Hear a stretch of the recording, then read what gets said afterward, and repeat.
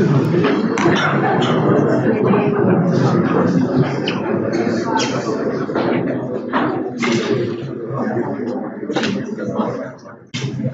welcome back, everybody.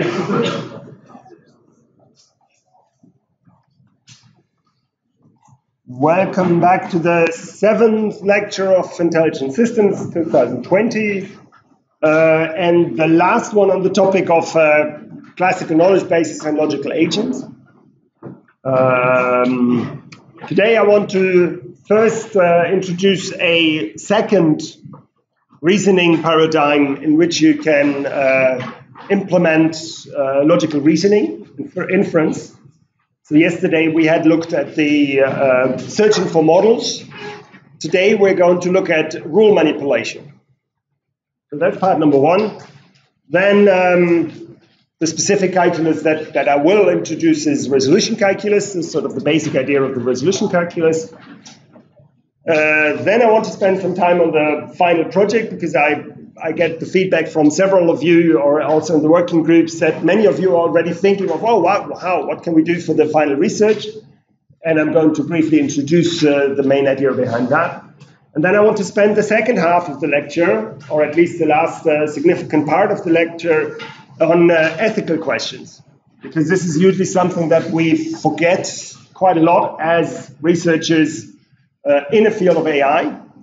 Um, and I want to spend a bit of time just making us aware of uh, what this means and the consequences of what we are doing, and also the responsibility that we have as AI researchers. So that's the plan for today. Um,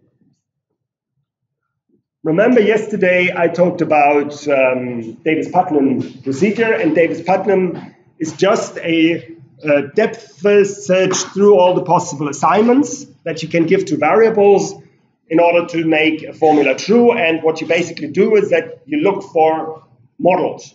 And as soon as you find a model, so a an assignment of uh, va values true or false to all the variables that make all the formulae true, then you found a model. That was the definition of a model.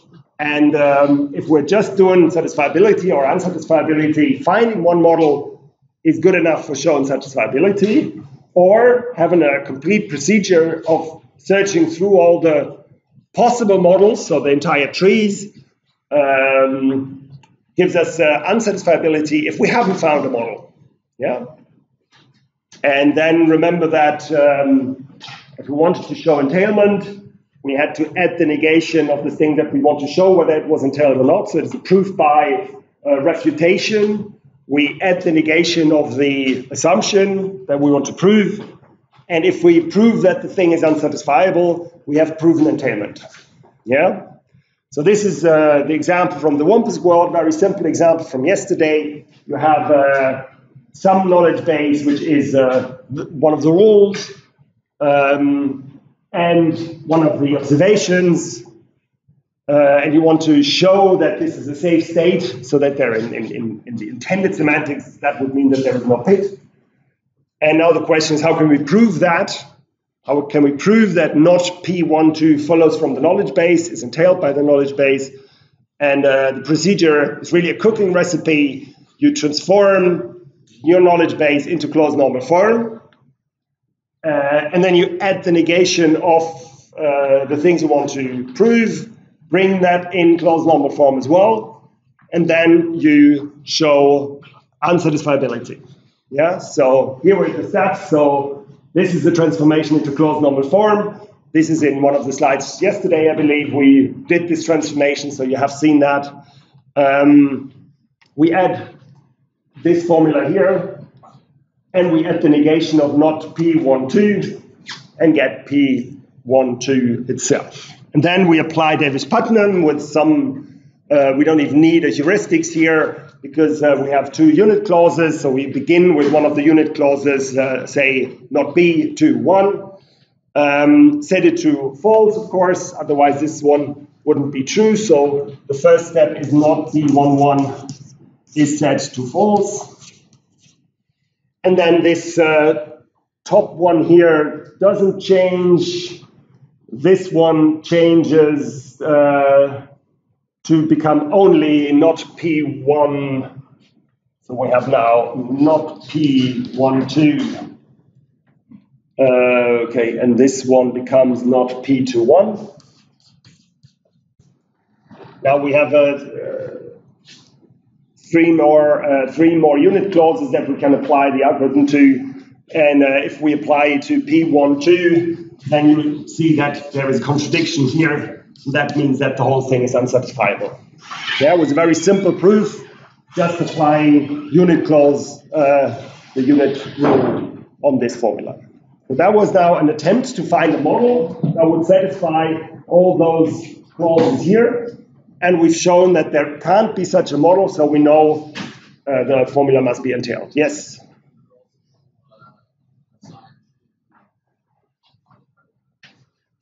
So I think the, the rule, and that was, might have not been very clear yesterday. So of course it only makes sense, and that was also what makes it efficient. If you have a unit clause that says uh, uh, not P12, the only thing it makes sense is to assign the value false to it, like I did here. So have, you have the unit clause. Then in order to make this unit clause true, you have to assign the value not not uh, not true to the, the variable.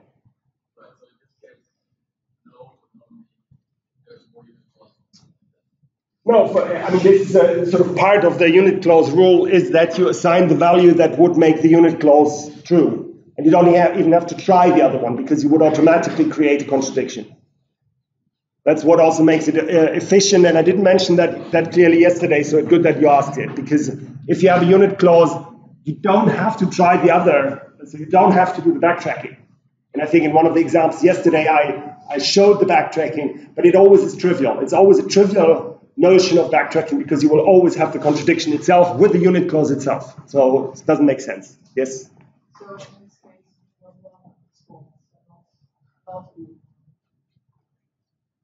Yes, so you're right. So we, we branch on uh, B11, and the clause on which we, we branch is uh, not B11. So I, I tried to write down two things in one graph, which didn't work. But you're absolutely right. We branch on B11 and assign the value one uh, false. Yeah? Okay, so that was the general idea of Davis-Putnam.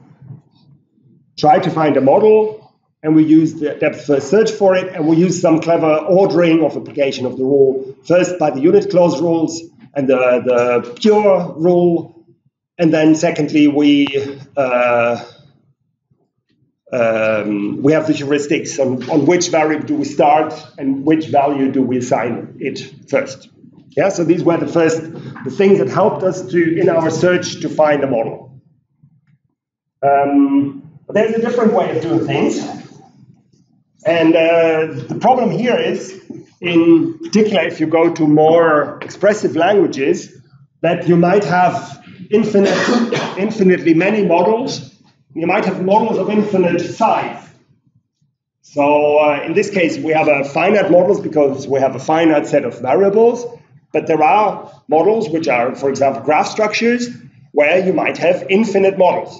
And then searching for a, a model in a set, set of infinitely many infinite size model simply becomes impossible. Is, is, can't, you can't do it. So we need other ways of deciding our languages and logics. Yeah?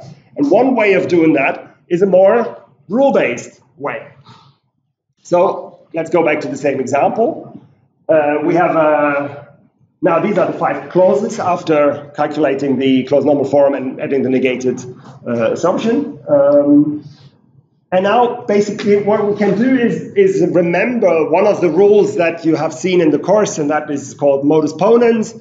it's a very simple rule, namely if you say, I have the formula alpha implies beta, yeah, and I know that alpha is true, then of course I can add beta. So this is one of the oldest and most trivial rules of, uh, or, or, most well-studied and well-understood rules of uh, logic.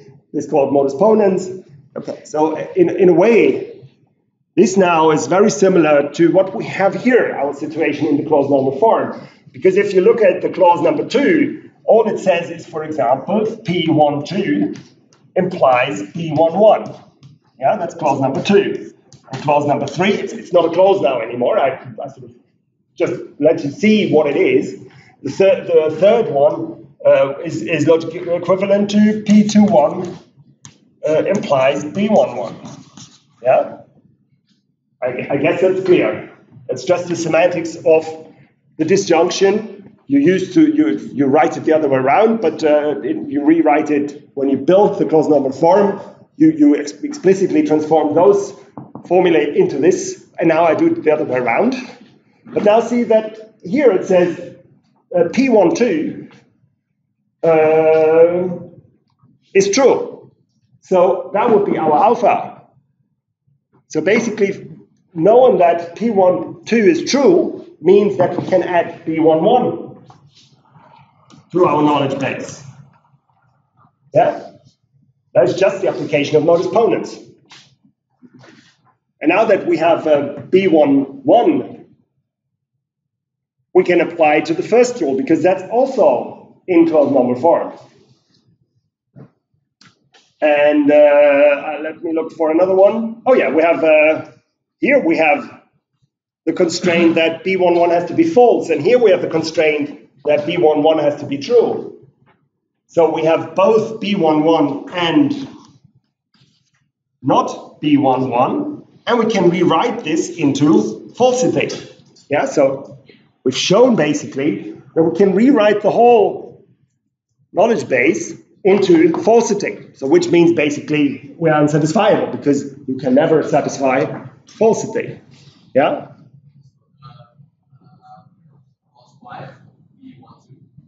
That's actually the not we want to write of the equivalent. Is that correct? That is the, uh, I would choose this one for the alpha. So we have this, this one is. Like the, uh, knowledge base and the uh, Yeah, that's the negative, the negative thing from here. Yeah. So we do exactly the same. We start out with the negation of the, the implication, add it to the knowledge base, and then we show that it's, if you have this assumption, then you can derive falsity just by manipulating the symbols.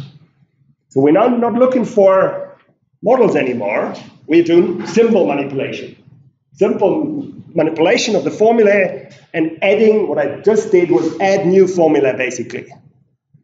And this was some kind of implicit calculation. Yeah, and I will show you some other of those rule manipulation calculi. Um, but the, the main idea is that you take some formula and you combine them, given some rules. So this is sort of called inferencing by rule manipulation, and you basically see very often that you have the kind of inference rules that define a logic or that define a calculus which can use in order to prove or disprove satisfiability in this case.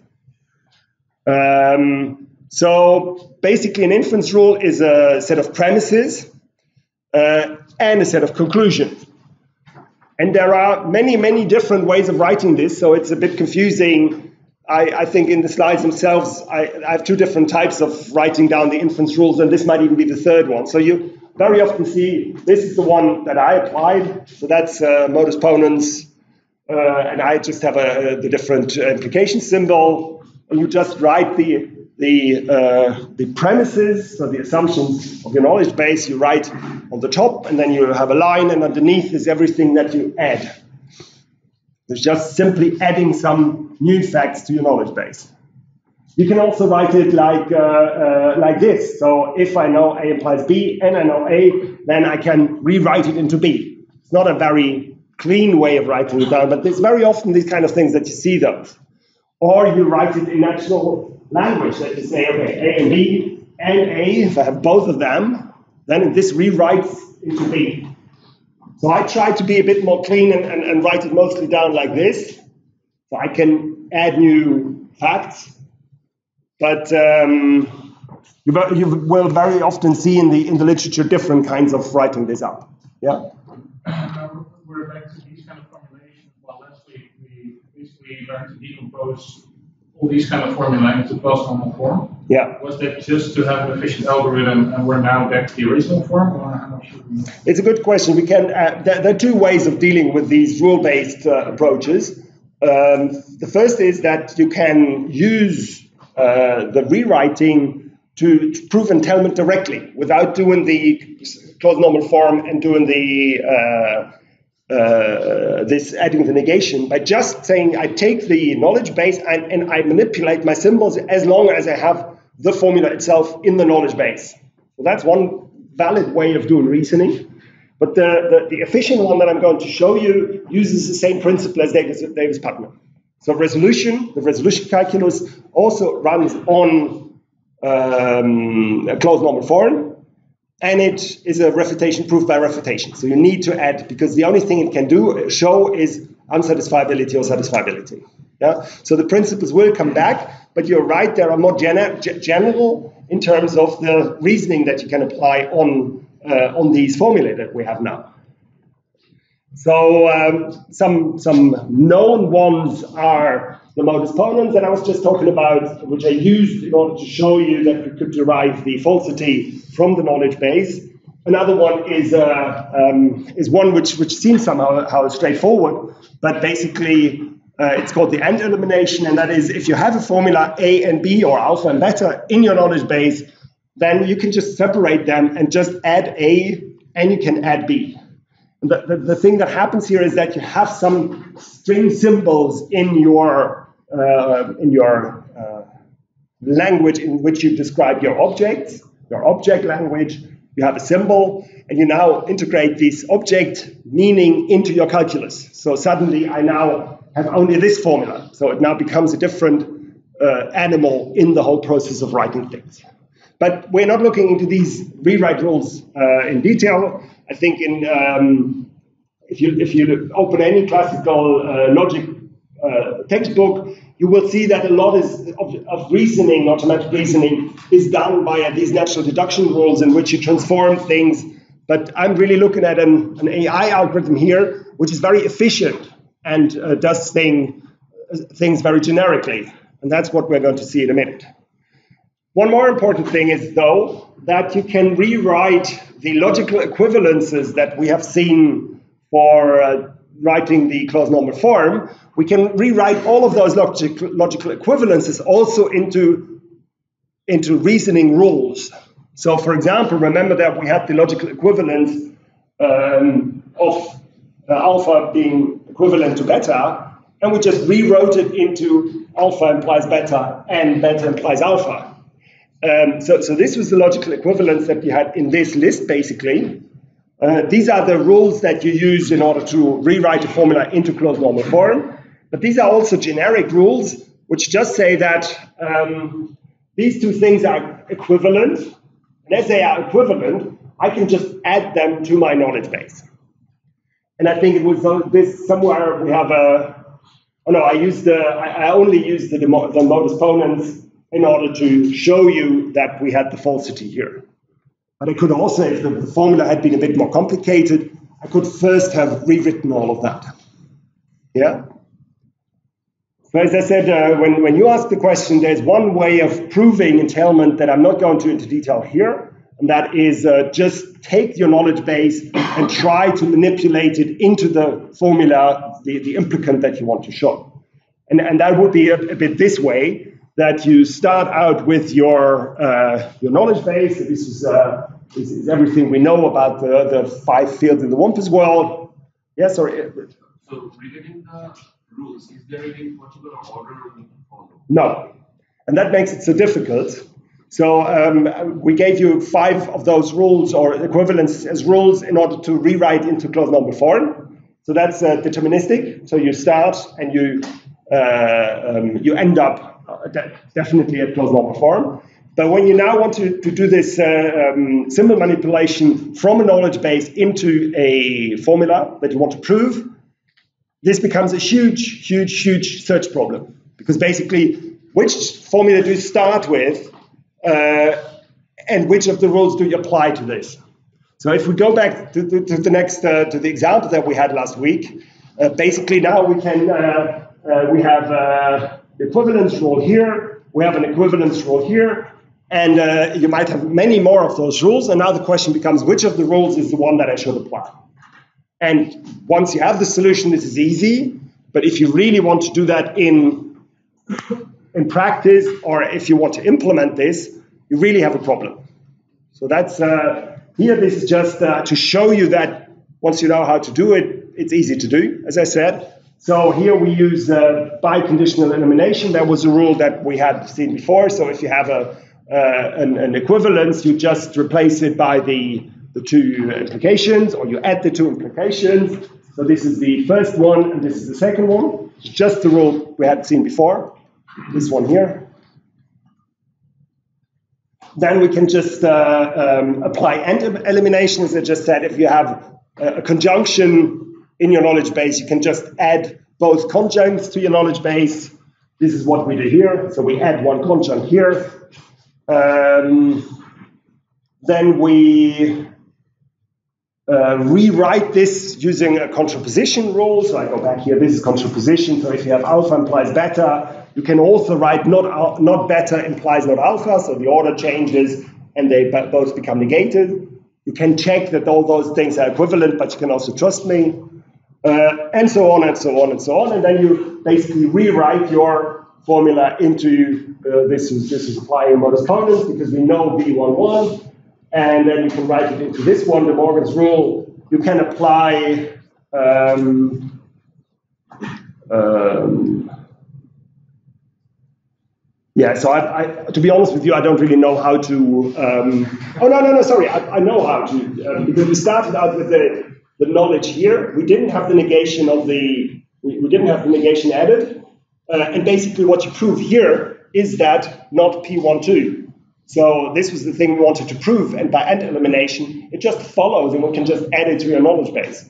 So this is the example, as you said, we, we just uh, don't forget about clause normal form. We don't forget, it, we forget about proof by refutation. We just show that not P12 must be true.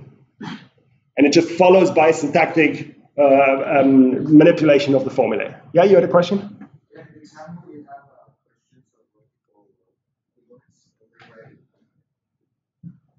Um, no, you will be you will be given a, a cheat sheet in which you can. Uh, we will just put those. Yeah.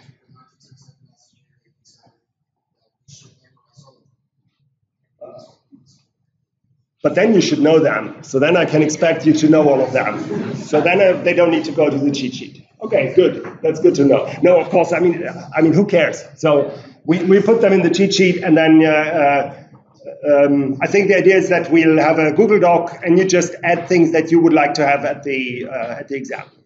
Yeah, I would give it to you. Yeah, the answers. Yes, if you can think of the answers before you get the questions, you can do that. Okay.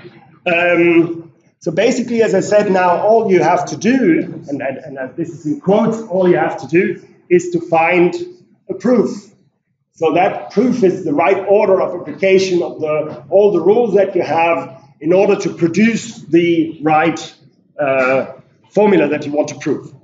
And that is, of course, really, really difficult to show. What one of the properties why this works is that in propositional logic, is that one of the properties is that if you apply one of those rules, the whole set is still uh, satisfiable. Um, so oh, if you increase the, the, uh, the, your knowledge base, the properties uh, only increase and you do not lose any truths, any true formula, which is the property of monotonicity. So you add things and your set becomes uh, still valid and better in that way. So you can just add to your knowledge base whatever you have derived without changing the meaning of the knowledge base. And that is what we've made use here. So I just uh, produced new formulae, and I knew that those formulae, everything that I produce, is already in the knowledge base. So I basically shows that falsity is already in the knowledge base, and that the knowledge base is thus unsatisfiable. But the, um, uh, the one last thing about this is that uh, again we can think about uh, the direction in which we search, so forward search and backward search. So we can start with uh, all the formulae we have and just run extensive, exhaustively all the rules that we have. and basically produce, produce all the knowledge about this knowledge base by producing all the implicitly modeled facts. So what I did here was uh, I started from the knowledge base, I just added things. Yeah? And if you do that exhaustively, you just get more things that are already in the knowledge base, but now you get them explicitly. And that's called forward-driven uh, forward chaining. Um, the other idea is that you say, okay, now I, I, want, I know what I want to, to prove. So falsity might not be a good one, but this uh, in the other example I had with the, I want to prove that there is no pit in one two, so not P one two is the, the goal. Then I could look at wh which rule would I have to apply in order to get not P one two, and that gives me another search direction. And if you, uh, if you work in, in online systems, for, for example, we have worked on reasoning over web data, where you often want to, uh, uh, to, to, find, you have a query in your, in your web database, and you want to find whether things are there that are um. And then you can start doing the goal, the, the, the, the backward chaining, trying to find whether there is a good is a motivation that makes your fact that you're looking for true in the in the knowledge that you have. But this is an online search, so you wait for this, and that can take a long, long time. So basically, all the systems that you see that use reasoning on the web, uh, they do forward uh, forward chaining. So they at, at loading time when they take the data, index it, they also complete the reasoning. And for the AI students, this was uh, some, and the information science students, this was what, what we used in knowledge and data. Uh, that all the systems, the, the, the databases like uh, um, GraphDB, they do this calculation upfront by forward chaining, just applying all the rules that you have. Yeah? Okay. So this was a sort of more generic looking at rules uh, in general. So you just take equivalences in your logic and you apply it in order to do some rewriting. Um, but there's one specific application of this rule-based approach that's very, very useful for richer languages in particular.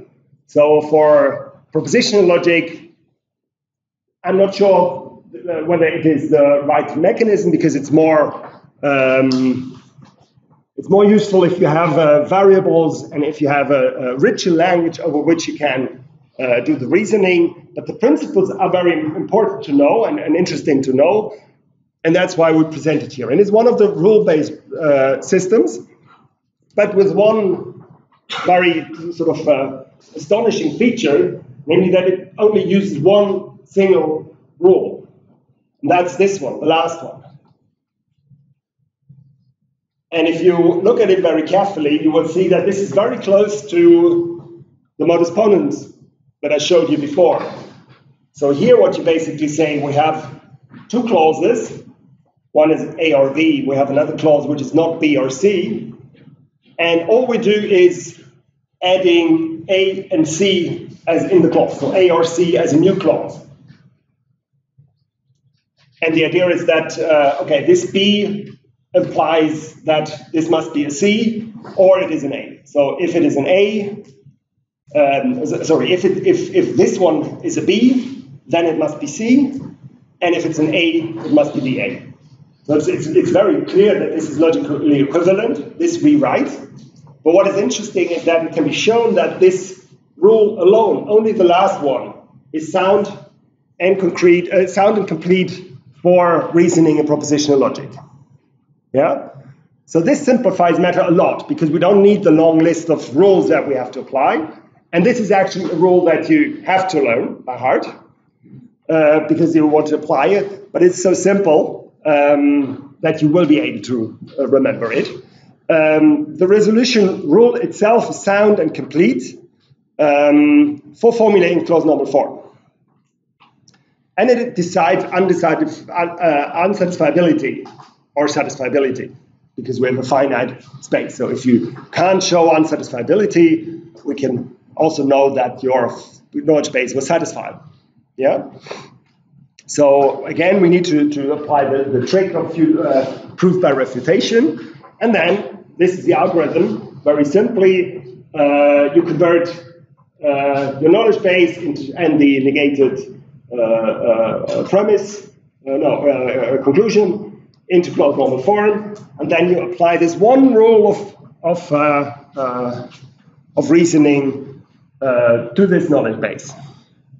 And you continue until you either can't apply a rule to produce something new, a new clause, or um, and that's that's uh, this rule. Sorry, here that there are no new clauses that can be added, and if that happens, you're satisfiable because you haven't found a contradiction, and that means that better is not entailed.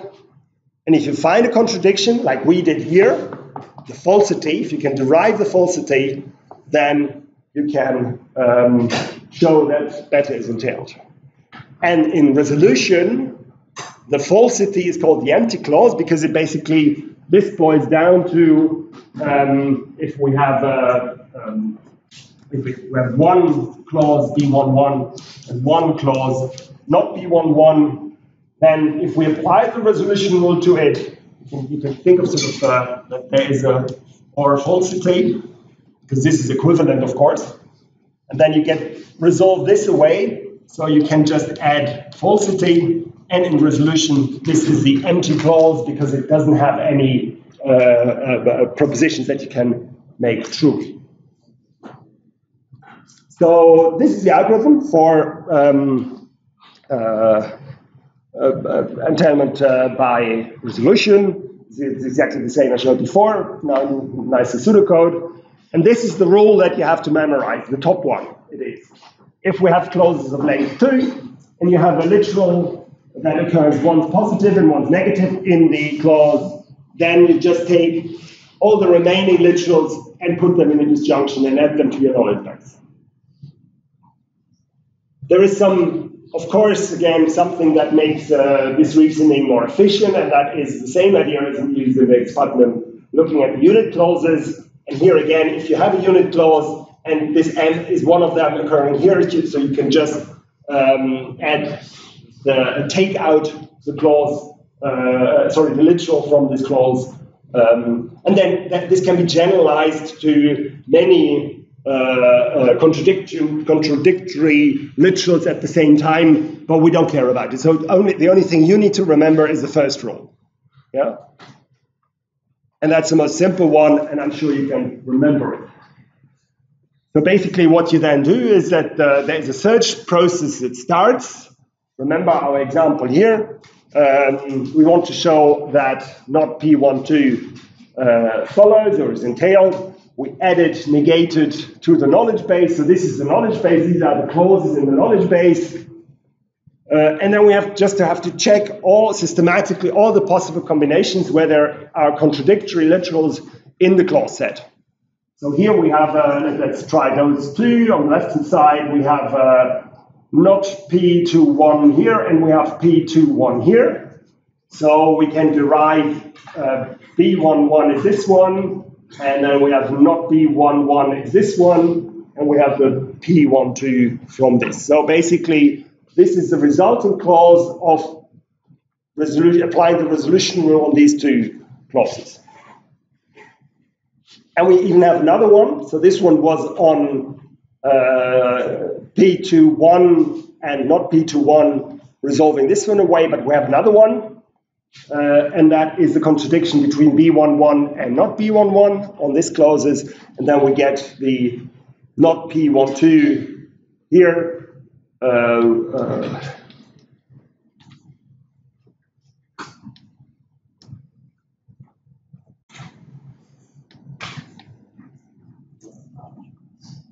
This one is, I think, wrong, isn't it?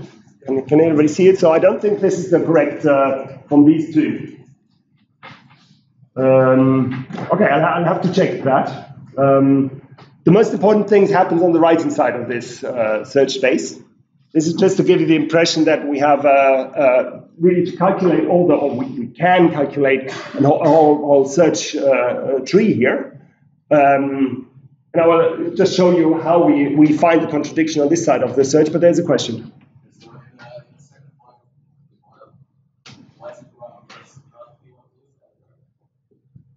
Uh, so I was thinking that here we do the B11 and the not B11. That's this one. And then we have the P21 oh, this is this coming from here. The P12 is coming from here, and the not P. Yeah, sorry. No, this is this is incorrect. But you can always add something here. Yeah, but this should should be the correct. So I think here the, the letters are wrong. So that should be the not P21 from here. Yes, you. Yeah. One, two uh, spaces to the right is also wrong. This one. Yeah, so this one is then probably the one that should be here, and this one is the one that should be here. Anyway, so so uh, you, you get the principle. Let's go to the one where I know that it, it, it works and where uh, you can find the contradiction that you're looking for, and that is uh, on the right hand side. You have uh, not P12 and P11, and you can uh, basically combine those two together, uh, and you get not P12, and you have the clause P12 from the, the negated assumption, and then you can combine those two, this one that you found plus the old one, and those build the contradiction that show you that the whole thing is unsatisfiable. And that's all we wanted to achieve. And this is a, another way of writing down this um, this falsity in the literature. So it's either the empty clause like this, or it is the empty clause like this. And um, that shows you that your whole data, your, your whole knowledge base is unsatisfiable.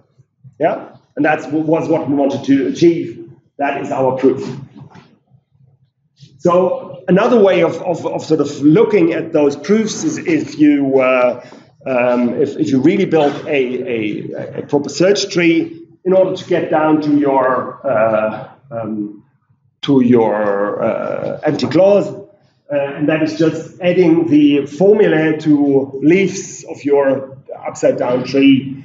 Um, but I, I mean, this is not. Um, uh, it's just to give you an indication of how you can do some kind of uh, search in both directions. Here, you do forward reasoning, so you take your your queries and you go uh, so your knowledge base and you try to derive all the possible facts. For example, the contradiction, and here you uh, um, you start more goal directed. Yeah. The previous slide, if you um, want to check whether um, that P12 is entailed by the knowledge base, uh, your result is that it's unsatisfiable. Yeah. It could also mean that the knowledge base itself, even without taking into account that P12 is unsatisfiable. So you should check that first, right? The Um, knowledge base by itself is satisfiable. There is, in principle, no need for that because uh, um, the, these logics have the property that from falsity you can derive everything. So if the knowledge base is false, is, is inconsistent, then it is correct that the formula itself is entailed because everything's entailed from an inconsistent. So the, the, the formal notion still uh, holds, is, is, is still correct that it is a, uh, it, it follows logically. Uh, it doesn't make any sense because your assumptions are already wrong. So I agree that in a practice you should start testing whether your knowledge base is consistent or satisfiable. Uh, but for this uh, example, it doesn't make a difference. Okay, so um, you're going to practice uh, resolution in the uh, in the working group on, on Friday. Um, but, but remember, the principle is really really simple. Um, I have some kind of uh, trick when I write down those uh, uh, resolution cases uh, by just enumerating them all in a um, in a systematic way. So maybe uh, I'll just give you this, this trick for, um, for Friday when you when you practice. Just write down all your clauses in your in, in, in, a, in an enumerated way. Uh, that. So. So we, as we only need those three, I will only start. I only take those three. So we start with uh, with three, which is uh, not P one two or P one one, I think. Uh, four is then uh, not P one one, and five is uh, P one two. And then you uh, we now start adding new uh, um, new clauses, and then I always write down where they come from, just to keep uh, for the book for the bookkeeping. So if I do uh, three plus four, then what I get is uh, uh, B11 and B11, so I get P not P12. and then I do seven, apply um, it on five and six, and that gives me the empty clause, and then I'm done. Yeah.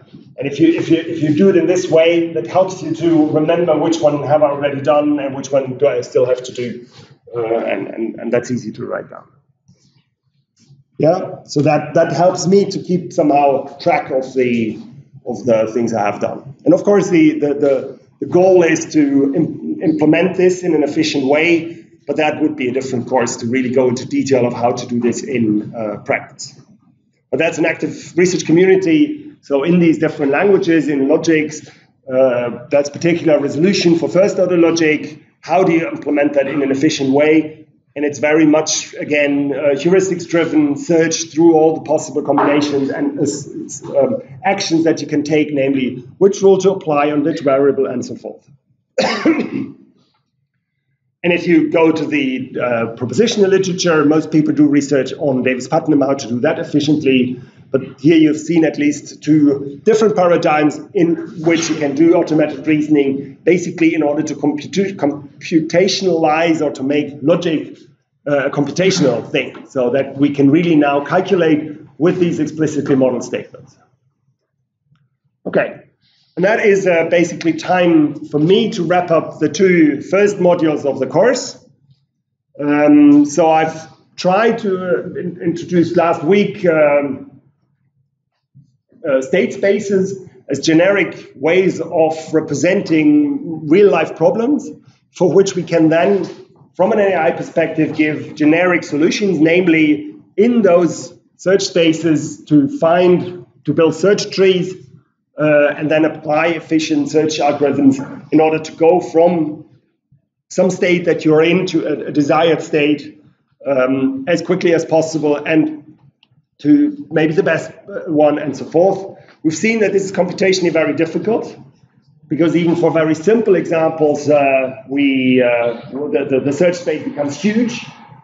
Uh, you might have uh, adversaries, you might have uh, imperfect information, all these kind of things we discussed in the first week um, uh, applied informed search where we have uh, human knowledge trying to integrate in, in some heuristic ways and um, even in, in games where we have an adversary how to apply the same techniques and then if we don't have uh, fully observable information so if not all the data is given it makes a lot of sense to uh, to derive new facts via some human-like, I would call it, uh, uh, symbolic reasoning, knowledge representation. So this week we've looked into logical agents and how they, how you can represent AI problems in uh, logical ways. And then particularly from my also personal interest, how can we make this computationally interesting and working? And what are the algorithms that drive these logics so that you can apply them in practice? Um, so this is sort of uh, my area in which I do also research the knowledge representation side. Um, and now I will hand over the, uh, the how do you say, the, the, key to Michael. He will give the lectures tomorrow and next week, um, and they will be about uh, dealing with vagueness and uncertainty. So every statement we had so far, they were Boolean as it's called. So something was either true or it was false. And obviously in real life, that's not the case. So uh, a glass is half full, or you know for a certain degree that a fact is true or not. So the notions of fuzziness and uh, uh, probabilities will come tomorrow, and how to bring them in more complex systems. So if you if you have a, uh, several uh, uncertain factors, how do they uh, influence each other? That will be dealt with tomorrow. And then next week, of course, the hot topic in AI of machine learning. What are the what is machine learning in the first place? what are the basic principles and um, how do you evaluate it and so forth. And then on Friday, uh, Frank will take over again and uh, he's, uh, he will give a lecture on philosophy of mind. Uh, because, of course, the question of intelligence for machines also touches very closely on the question of intelligence in general and how do the human how does the human brain work what uh, makes us humans and um, so I will later in this in the second half of the lecture I will go into the sort of the consequences and thinking about the what is the difference between or what, what makes us humans and what also makes the ethical decisions then. Um, but the, the, questions are maybe deeper even. So what does uh, AI also teaches about what we are as humans and who we are as humans. And from experience, this is always a fantastic lecture, so I really recommend you to come next Thursday. Uh, both those uh, lectures that are sort of uh, on the fringe of uh, uh, the, the technical, that are not technical, so the ethical one and the, the philosophy of mind will be relevant for the exam. So there will be a question about it. About the ethics is not that there is one stance which is right and wrong, of course, it's the quality of the argument and the fact that you understand the problems in the first place. Then there will be a, an exam on Monday. Uh, it's two weeks, I think, from now, more or less. Uh, on Thursday, there's the final assignment. On Friday, you have to write peer reviews, and you have a question. Yes. Are the slides of Michael and Frank also going to be on Canvas? They are going to be on Canvas, yeah. Okay. Yeah. They haven't published their draft yet, uh, but uh, they will come uh, shortly before the lectures. They will be available. And also, we try to make recordings, as I uh, said or promised some time ago, but uh, no guarantees given. So I think it's time for a break. Um, and if you wouldn't mind, let's have it a bit shorter because I need a bit more time. So if you could come back half past, that would be appreciated.